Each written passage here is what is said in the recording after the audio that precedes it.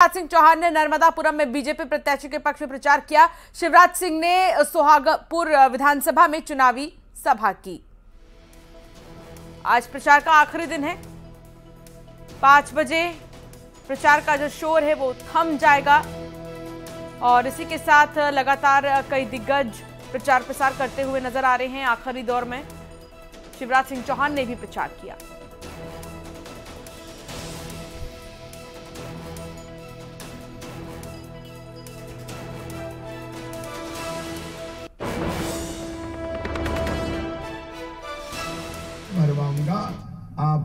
अधिकतम सौ रुपया ही बिजली का बिल आएगा हर महीने। सारी सुविधाएँ देने का हम काम करेंगे क्योंकि आप ही मेरे लिए भगवान हैं। जो बुज़ुर्ग हमारे हैं, उनकी पेंशन बढ़ा के पंद्रह सौ रुपया की जाएगी। बुज़ुर्गों को तीर्थ यात्रा भी और अब बेटियों की शादी होगी तो शादी में कन्यादान योजना में एक लाख रुपया सीधे बेटी को दिए जाएँगे। एक लाख रुपए से विदाई की जाएगी। ताकि उनकी घर गृहस्थी बच सके। मेरे और रुकता मैं। मेरी इच्छा थी कि यहीं अपन थोड़ी देर बैठते, नाचते, गाते, रोटी खाते। लेकिन आज चुनाव प्रचार का अंतिम दिन है। कई जगह मुझे जाना है।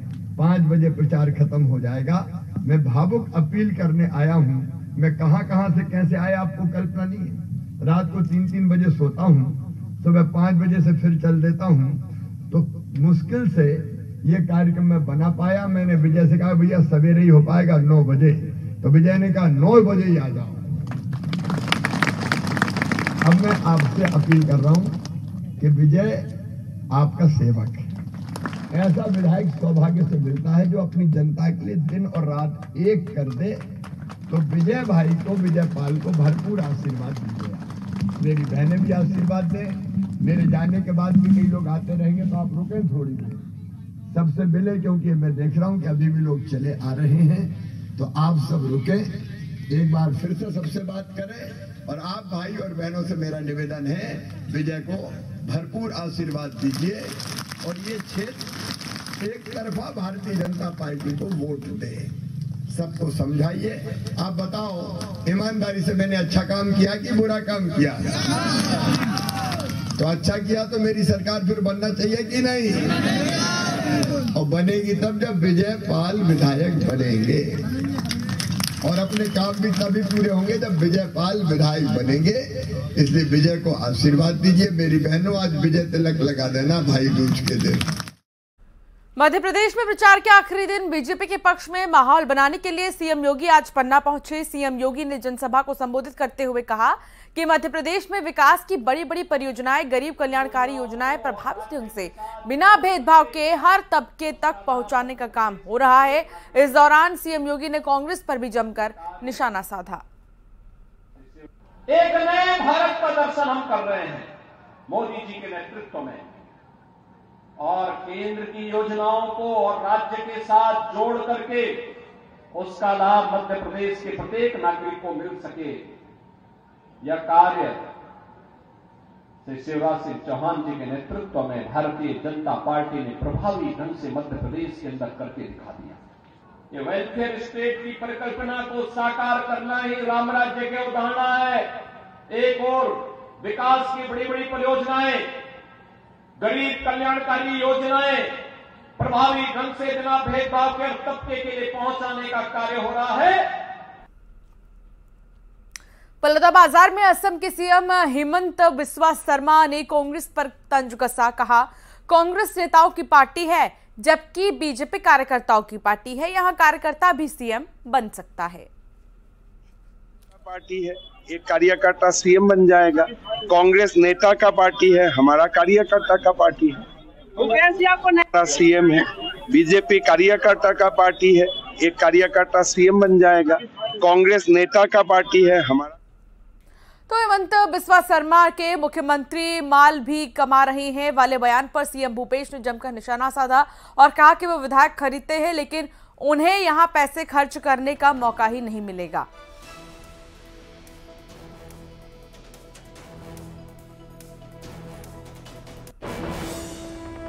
विधायक खरीदने में कितना लगता है? यहाँ मौका नहीं मिलेगा उसका, पैसा बचेगा। हाँ अच्छा ये बताए, वो विधायक खरीदने में कितना लगता है? यहाँ मौका नहीं मिलेगा उसका, पैसा बचेगा। पीएम मोदी ने सोशल मीडिया पर अपने छत्तीसगढ़ में चुनाव प्रचार अभियान के अनुभव साझा किए। पीएम मोदी ने ट्वीट में लिखा कि छत्तीसगढ़ में इस बार चुनाव अभियान के दौरान मेरे अनुभव बहुत ही अद्भुत रहे, अभूतपूर्व रहे, कहा जाता है छत्तीसगढ़िया सबसे बढ़िया। मैंने इसकी प्रतिध्वनि चारों तरफ़ महसूस की है। छत्तीसगढ़ के परिश्रमी लोग अपने राज्य को और बेहतर बनाने के लिए, सर्वश्रेष्ठ बनाने के लिए नई उम्मीदों और नई ऊर्जा से भरे हुए हैं। वो जानते हैं, कुशासन और भ्रष्टाचार के शिकंजे से अगर कोई छत्तीसगढ़ को निकाल सकता है तो वो भाजपा ही है।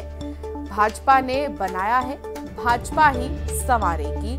ये प्रधानमंत्री नरेंद्र मोदी ने अपने ट्वीट में लिखा है और साथ ही उन्होंने ये भी कहा कि बीजेपी पर जनता को भरोसा है, भाजपा ने बनाया है, भाजपा ही संवारेगी।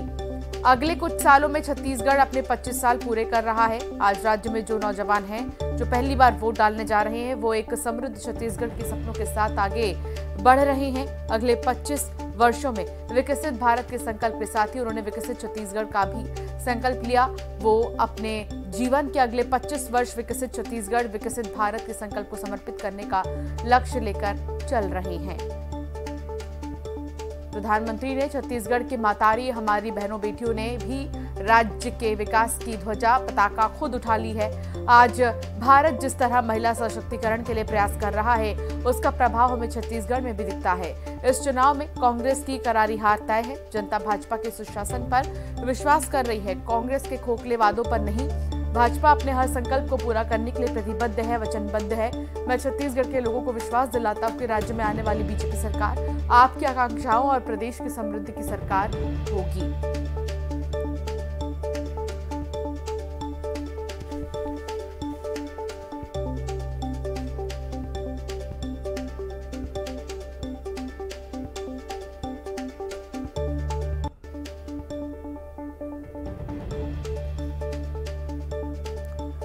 पीएम मोदी ने ट्वीट किया है और कहा कि आज भारत जिस तरह महिला सशक्तिकरण की बात कर रहा है, बहुत उत्साहित करने वाला है।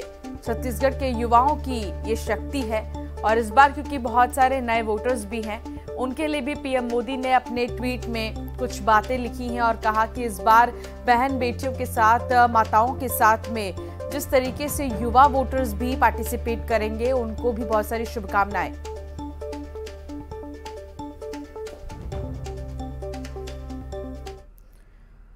बड़ी खबर इस बीच आ रही है। जम्मू संभाग के जिला डोडा में बड़ा सड़क हादसा हो गया है। ज़िले के असर में एक बस अनियंत्रित होकर करीब 300 फीट गहरी खाई में जा गिरी।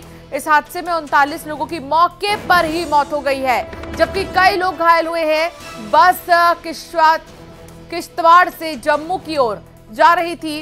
हादसे का पता चलते ही आसपास के लोग मौके पर पहुँचे और प्रशासन के साथ बचाव और राहत कार्य में जुट गए।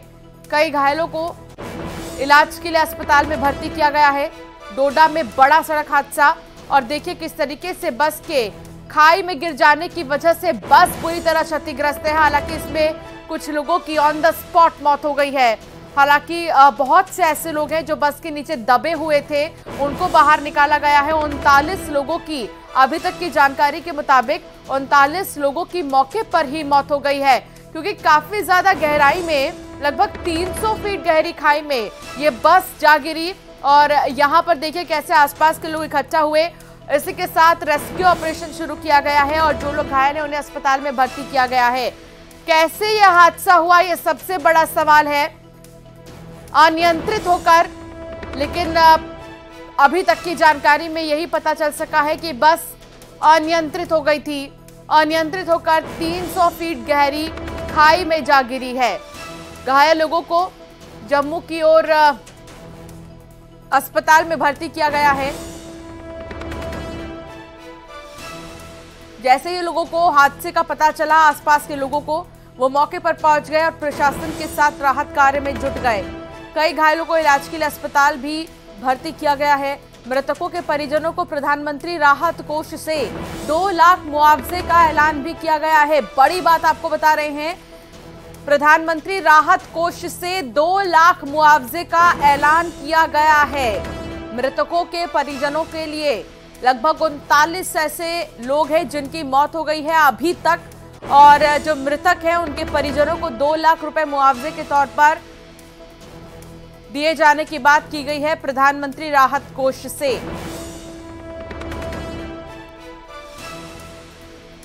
बड़ी खबर डोडा से। डोडा में बड़ा सड़क हादसा हो गया और बस के अनियंत्रित होकर गिर जाने की वजह से उनतालीस लोगों की लगभग, अभी तक जो जानकारी मिल रही है, उनतालीस लोगों की मौत हो गई है। हालाँकि ये सड़क हादसा कैसे हुआ और बस कैसे अनियंत्रित हुई, ये बहुत बड़ा सवाल है। इसको लेकर अभी भी जाँच जारी है क्योंकि मौके पर पुलिस प्रशासन मौजूद है और जाँच भी जारी है। 300 फीट गहरी खाई में ये बस गिर गई है और उनतालीस लोगों की मौत हो गई है। 20 लोग ऐसे लगभग हैं जो अभी घायल बताए जा रहे हैं।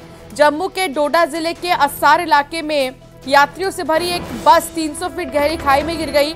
इस हादसे में उनतालीस लोगों की फ़िलहाल मौत हो गई है, जबकि 19 से ज़्यादा लोग घायल हुए हैं और इन्हें अस्पताल में भर्ती किया गया है। बस किश्तवाड़ से जम्मू जा रही थी। इसी दौरान सड़क से फिसलकर खाई में गिर गई। बस में 55 से ज़्यादा बताया जा रहा है कि पैसेंजर सवार थे। घटना के बाद रेस्क्यू की टीम मौके पर पहुँची है। खाई से गिरने के बाद बस पलटी थी और हादसा इतना भयानक था कि बस को काटकर अंदर फंसे लोगों को बाहर निकाला गया है। रेस्क्यू टीम ने यह भी बताया कि घायलों को किश्तवाड़ जिला अस्पताल और डोडा के गवर्नमेंट मेडिकल कॉलेज में भर्ती किया गया है। गंभीर रूप से घायल लोगों को जम्मू एयरलिफ्ट किया गया है। रेस्क्यू ऑपरेशन जारी है, मृतकों का आंकड़ा बढ़ भी सकता है। फ़िलहाल आपको तस्वीर भी दिखा रहे हैं। बस की अगर हम बात करें तो जम्मू कश्मीर के तमाम ऐसे नेता हैं जिनकी तरफ़ से इसको लेकर ट्वीट भी आ रहे हैं, लेकिन एलजी ने कहा है कि डोडा के असर में दुखद बस दुर्घटना में लोगों की मौत से बेहद दुखी हूँ। शोक संतप्त परिवारों के प्रति मेरी संवेदनाएँ। दुर्घटना में घायल हुए लोगों के शीघ्र स्वस्थ होने की कामना की जा रही है। प्रभावित लोगों को सभी आवश्यक सहायता प्रदान करने के लिए अधिकारियों को निर्देशित कर दिया गया है। प्रधानमंत्री कोष से राहत राशि भी दी जाएगी। मृतक के परिजनों को दो लाख का मुआवजा देने का ऐलान किया गया है। बस नंबर की अगर हम बात करें तो JK zero two C N six triple five ये बस नंबर है।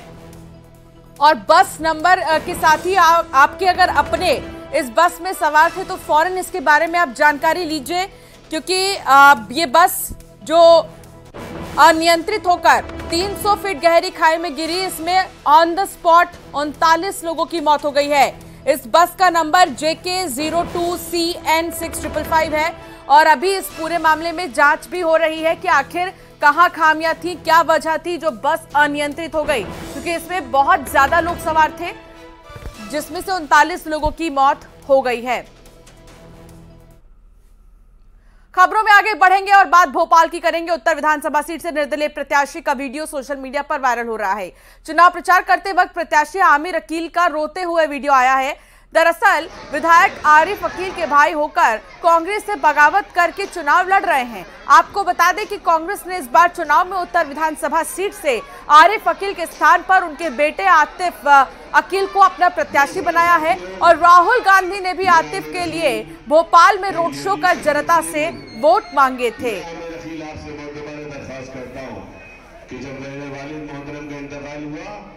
तो मेरे मैं नहीं समझ पा रहा कि क्यों अड़ गया उनका यकीनन घुटने पेट की तरफ़ झुक गया।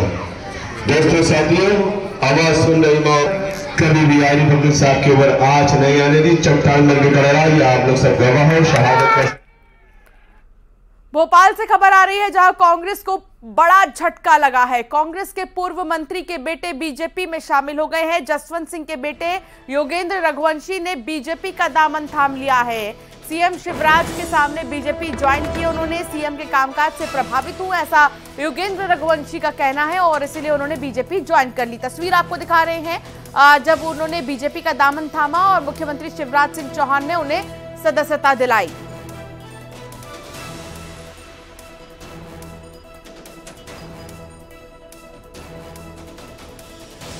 शिवराज सिंह चौहान ने सदस्यता दिलाई है। आज एक तरफ़ जहाँ चुनावी शोर थम जाएगा तो दूसरी तरफ़ आप देखिए कई ऐसे नेता हैं जो पार्टी छोड़ अन्य पार्टियों में शामिल हो रहे हैं और ये ताज़ा तस्वीर आपको हम दिखा रहे हैं जब बीजेपी ज्वाइन किया योगेंद्र रघुवंशी ने। रुकेंगे एक छोटे से ब्रेक के लिए, खबरों का सिलसिला लगातार जारी रहेगा।